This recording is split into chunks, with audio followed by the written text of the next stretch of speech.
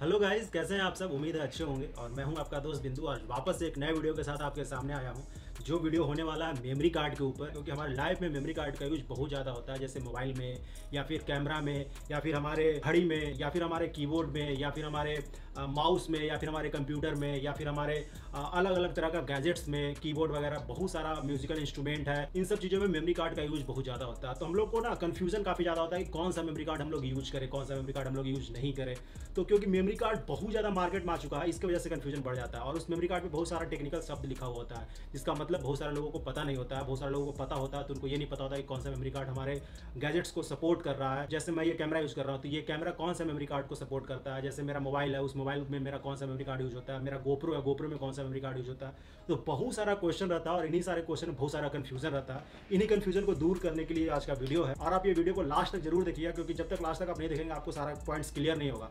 तो स्टार्ट करते हैं वीडियो और सारा पॉइंट्स को एक करके क्लियर करते हैं। अपना कोई भी मेमोरी कार्ड को उठाते हैं और उस पर लिखा हुआ सारा बात को डिटेल से बात करते हैं। कि उस सारा पॉइंट्स का मतलब क्या होता है और उसको हमारे लाइफ में कैसे यूज़ करना चाहिए। तो चलिए सबसे पहले स्टार्ट करते हैं प्रो ग्रेड का ये जो कार्ड है, इस कार्ड के ऊपर दो सौ छप्पन जीबी का कार्ड है और इसमें बहुत सारा टेक्निकल शब्द लिखा हुआ होगा। तो एक एक करके इसके बारे में बात करते हैं। पहले तो लिखा हुआ है H D XC two H D XC का मतलब हो गया कि सिक्योर डिजिटल एक्सटेंडेड कैपेसिटी बहुत तरह का कार्ड आता है। एक आता है एच डी मतलब सिक्योर डिजिटल जो जो छोटा कार्ड होता है, जो मोबाइल वगैरह में यूज़ होता है। दूसरा होता है एच डी एच सी मतलब सिक्योर डिजिटल हाई कैपेसिटी जो हमारे, पुराने कैमरा वगैरह में यूज़ होता था।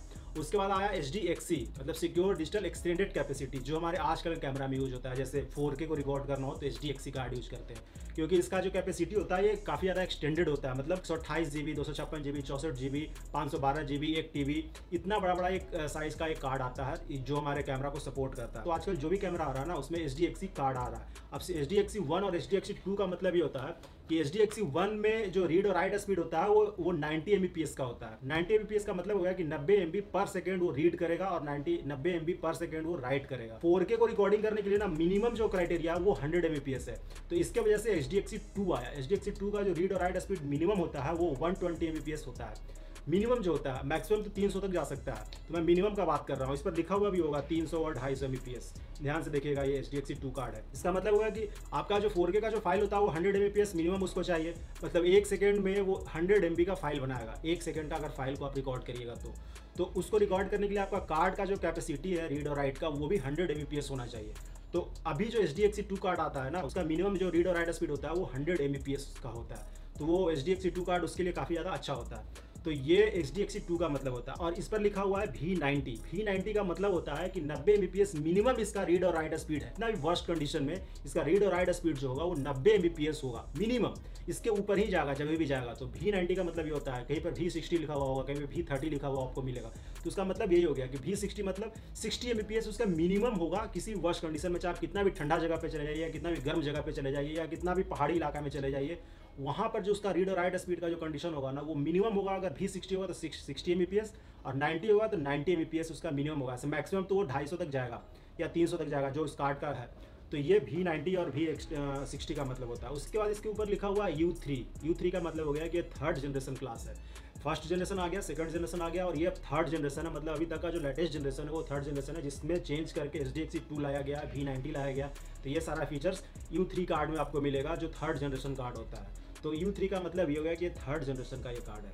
उसके बाद आपको इसमें लिखा हुआ होगा सी के अंदर टेन एक छोटा सा आपको दिखाई दे रहा होगा सी उसके अंदर में टेन लिखा हुआ होगा। मतलब क्लास टेन कार्ड है। क्लास टेन जो कार्ड होता है, वही कार्ड होता है एच डी एक्सी टू या वी नाइनटी जो कार्ड होता है, वो क्लास टेन कार्ड होता है। कहीं पर आपको लिखा होगा सी के अंदर फाइव कहीं पर सी के अंदर टू मतलब वो क्लास टू कार्ड है क्लास फाइव कार्ड है। जो सबसे हायर कैपेसिटी का आजकल कार्ड आ रहा है ना, वो सी टेन आ रहा है, जो फोर के फाइव के सिक्स के एट के फ़ाइल को रिकॉर्ड करता है, जो आपका कैमरा आपका मोबाइल वगैरह में आजकल जो आ रहा है, वो सारा में आपका C ten class ten capacity वाला कार्ड आ रहा है। तो सी टेन का मतलब ये हो गया। उसके बाद बगल में यहाँ पे आर का साइन होगा। आर का साइन मतलब ये कार्ड में रिकवरी का ऑप्शन है।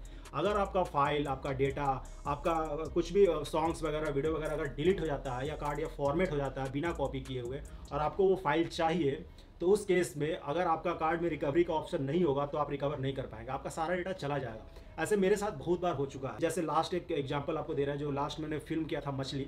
उस फ़िल्म में भी हमारा कार्ड ना फॉर्मेट हो गया था। हम लोग उसको डेटा को कॉपी नहीं किए थे। पूरा दिन शूट किए और शाम को हम लोग उसको कॉपी नहीं किए, भूल गए। और अगला दिन जब हम लोग शूट करने गए तो कार्ड को फॉर्मेट करके लगाना होता था, क्योंकि फ्रेश कार्ड चाहिए। तो कार्ड फॉर्मेट हो गया और वो कार्ड जो फॉर्मेट हुआ, वो कैमरा से फॉर्मेट हुआ। कंप्यूटर से फॉर्मेट नहीं हुआ कैमरा से ही फॉर्मेट हुआ। तो उसके बाद फिर उस पर पूरा दिन शूट हुआ। पूरा दिन शूट भी हो गया वो फॉर्मेट किया हुआ कार्ड पे।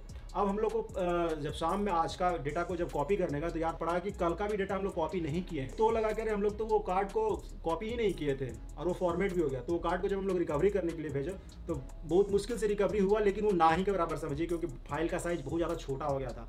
और वो पूरा ब्लर ब्लर और पूरा आउट फोकस और डी फोकस बहुत मतलब गंदा फ़ाइल आया था रिकवरी करने के बाद, क्योंकि उस कार्ड में रिकवरी का ऑप्शन नहीं था। अगर वो रिकवरी का ऑप्शन रहता उस कार्ड में तो हम लोग उसको रिकवर कर लेते और हमारा पूरा दिन का जो शूट था, पूरा दिन का जो मेहनत था, पूरा दिन का जो खर्च था, जो पैसा जो खर्च होता है शूटिंग करने में, वो बच जाता। तो ये आपको ध्यान देना होगा कि आपका कार्ड में रिकवरी का ऑप्शन है कि नहीं। ये बहुत ज़्यादा यूजफुल होता है, आपके कार्ड में रिकवरी का ऑप्शन होना। और ये एक रिकवरी सॉफ्टवेयर होता है, उस सॉफ्टवेयर के थ्रू आपका रिकवर होगा। तो आप खरीदते समय ज़रूर ध्यान दीजिएगा कि आपके कार्ड में रिकवरी का ऑप्शन हो। तो ये आर का मतलब वही होता है कि आपका कार्ड रिकवर कर सकता है। उसके बाद ऊपर में लिखा हुआ है आर तीन सौ और डब्ल्यू ढाई सौ मतलब ये तीन सौ का फ़ाइल को रीड करेगा। आर का मतलब रीड करेगा। आप अगर फ़ाइल को देखिएगा तो तीन सौ के फ़ाइल का स्पीड से वो आपको दिखाएगा। लेकिन राइट करेगा, इस पर जब आप कॉपी कीजिएगा रिकॉर्डिंग कीजिएगा जब अपने कंप्यूटर से तो मैक्सिमम जो होगा वो ढाई सौ होगा। मैक्सिमम ऐसे मिनिमम तो वी नाइन्टी कार्ड है तो नाइन्टी एम इसका मिनिमम स्पीड होगा ही होगा। लेकिन मैक्सिमम जो होगा वो ढाई सौ होगा। मतलब फोर के फ़ाइल फाइव के फ़ाइल को आसानी से रिकॉर्ड कर लेगा। सिक्स के तक मतलब स्मूथ हो जाता है, आराम से हो जाता है। मैंने किया भी है सिक्स के फ़ाइल को इस पर रिकॉर्ड एवन जो सोनी का एवन कैमरा है, उस कैमरा से। यही कार्ड को यूज़ करके। तो सिक्स के फ़ाइल आसानी से हो जाता है। एट के फ़ाइल को रिकॉर्ड करने के लिए ये कार्ड बिल्कुल नहीं है। हालाँकि कंपनी तो इसको प्रचार करता है कि एट के भी रिकॉर्ड करेगा। लेकिन एट के रिकॉर्ड करने के लिए कार्ड मैं आ, मतलब रिकमेंड नहीं करूँगा कि एटके को रिकॉर्ड करने के लिए। उसके लिए फिर अलग से आता है कार्ड जो अलग कार्ड ही होता है टाइप बी कार्ड होता है वो कार्ड का स्पीड सत्रह सौ तक होता है मैक्सिमम तो समझ सकते हैं कि कितना मतलब हैवी कार्ड होगा और कितना ज़्यादा वो बड़ा फ़ाइल को रिकॉर्ड करेगा रीड करेगा। सत्रह सौ मतलब समझ रहे हैं? मेरा जो एसएसडी है ना उसका जो मैक्सिमम स्पीड है वो साढ़े पाँच सौ है। और वो कार्ड का जो स्पीड है वो सत्रह सौ है। तो मेरा एसएसडी से भी फास्ट वो कार्ड है। इतना ज़्यादा फास्ट होता है वो कार्ड और वो कार्ड यूज़ होता है रेड कैमरा में फैंटम कैमरा में, जो बिल्कुल स्लो मोशन फुटेज को जो रिकॉर्ड करता है ना, जो एक हज़ार एफ़ तक के फ़ाइल को जो रिकॉर्ड करता है, जो फैंटम कैमरा आता है, वो स्लोमो कैमरा ही बेसिकली होता है। तो उस कैमरा में वो कार्ड को यूज़ किया जाता है। तो उस कार्ड के बारे में आगे की वीडियो में बात करेंगे। फ़िलहाल मैं बात कर रहा हूँ एच कार्ड के बारे में और ये माइक्रो एच कार्ड के बारे में। ये दोनों कार्ड में फ़र्क यही है केवल साइज़ का। ये कार्ड साइज़ में बड़ा है और ये फ़ाइल साइज़ इसका जो रीड और राइट स्पीड है, वो भी काफ़ी बड़ा है, ढाई सौ तक का है। ये कार्ड छोटा है, ये भी एच डी एक्सी टू है, लेकिन इसका रीड और राइट स्पीड जो होता है, इसका एक सौ बीस मैक्सिमम है और डेढ़ सौ इसका रीड स्पीड है और एक सौ बीस इसका राइट स्पीड है। तो यही फ़र्क होता है। ये कार्ड आपका मोबाइल वगैरह में यूज़ होगा और गोप्रो वगैरह में यूज़ होगा और ये बड़ा कार्ड आपका कैमरा वगैरह में साउंड रिकॉर्डिंग जो आपका होता है जूम का या फिर मिक्स फ्री का या साउंड डिवाइस का, उसमें आपका ये कार्ड यूज़ होगा। तो ये आपको काफ़ी ज़रूरी होता है खरीदने से पहले। हाँ ये कार्ड थोड़ा सा महँगा मिलेगा आपको मार्केट में एच डी कार्ड जो होता है थोड़ा सा महँगा मिलता है। कंपैरिजन टू ये वाला कार्ड जो ये आजकल आपका सैंडिस का जो खानदानी कार्ड जिसको हम लोग कहते हैं, ये खानदानी कार्ड है। तो ये सस्ता आपको मिल जाएगा मार्केट में, क्योंकि ये एच डी नहीं है। ये देखिए, इसका पहचानने का एक और तरीका है एच डी और एच डी का। ये पीछे में अगर सिंगल पट्टी है, ये जो गोल्डन पट्टी आपको दिखाई दे रहा है, अगर सिंगल है तो ये वन है एच डी कार्ड है, जिसका रीड और राइट स्पीड कम होगा। और अगर डबल पट्टी आपको मिलता है, पीछे में गोल्डन वाला तो एच डी है, जिसका राइट स्पीड काफ़ी ज़्यादा होगा। ये थोड़ा महँगा होगा ये थोड़ा सस्ता होगा। ये अगर चौंसठ जी का कार्ड अगर ये ढाई हज़ार से तीन हज़ार के बीच में आ रहा है तो ये H D XC two card चौंसठ जी का छः हज़ार के आसपास आएगा।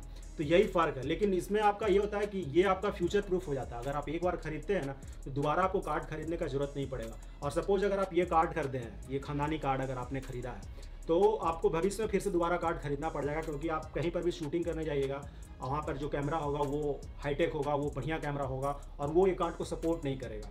जैसे मेरा ये कैमरा, इस कार्ड को सपोर्ट नहीं करता है। एच वन कार्ड, खानदानी कार्ड जो इसको सपोर्ट नहीं करता इसको लगाएँगे तो ईरर बताता है नो कार्ड बताता और ये कार्ड मेरा साउंड डिवाइस में, ये कार्ड मेरा ऑडियो रिकॉर्डिंग में यूज़ होता है। और ये जो एच डी टू कार्ड है, यही कार्ड को मेरा कैमरा सपोर्ट करता है, जो फोर को रिकॉर्ड करता है। तो ये काफ़ी ज़रूरी होता है कि ऐसा सामान खरीदे जो फ्यूचर प्रूफ हो। तो इसके लिए आपको ध्यान देना पड़ता है कि शुरू में एक बार तो पैसा लगता है जो कहावत भी है कि महँगा रोए एक बार और सस्ता रोए बार बार तो वही हिसाब है। आपको एक बार पैसा लगाना पड़ता है, लेकिन आपका फ्यूचर प्रूफ हो जाता है। तो उम्मीद है कि आगे से जब भी आप अपना कार्ड खरीदेंगे तो इन सारे बातों को ध्यान में रखकर ही खरीदेंगे, क्योंकि पैसा तो लगता है सबको एक बार, लेकिन फ्यूचर प्रूफ हो जाता है। अगर आपका सामान, आपका गैजेट्स तो काफ़ी ज़्यादा अंदर से सेटिस्फैक्शन आता है, काफ़ी ज़्यादा खुशी आता है कि अब हम दो तीन साल तक बिल्कुल मतलब टेंशन फ्री हैं कार्ड से। तो इन सारे बातों को ध्यान में रखकर ही आप अपना कार्ड आगे से ज़रूरी होगा तो खरीदिएगा। तो इसी के लिए इन्फॉर्मेशन मैं आपके साथ आज शेयर करना चाह रहा था कि आप भी अपना कार्ड खरीदे तो इन सारे बातों को ध्यान में रखकर खरीदे, क्योंकि मैं एक बार एक खानदानी कार्ड खरीद के गलती कर चुका हूँ। तो मैं नहीं चाहता हूँ कि मेरे सब्सक्राइबर मेरे व्यूअर्स इस तरह का गलती करें और उनको भी पैसा का मतलब लॉस हो। तो इसके लिए मुझे इन्फॉर्मेशन शेयर करना आपके साथ काफ़ी ज़रूरी हो गया। तो उम्मीद है कि आपको भी आज का वीडियो अच्छा लगा हुआ होगा। अच्छा लगा होगा तो प्लीज़ सब्सक्राइब कीजिएगा और लाइक तो ज़रूर कीजिएगा। और इसके बाद भी अगर आपको मेमोरी कार्ड से रिलेटेड किसी तरह का कोई प्रश्न है तो ज़रूर कमेंट्स करके पूछेगा मेरा पूरा कोशिश रहेगा कि मैं चौबीस घंटा के अंदर आपके प्रश्नों का जवाब दे सकूँ। और सब्सक्राइब ज़रूर कीजिएगा क्योंकि आपका सब्सक्रिप्शन बहुत ज़्यादा ज़रूरी है। तब तक के लिए कीप वॉचिंग एंड जय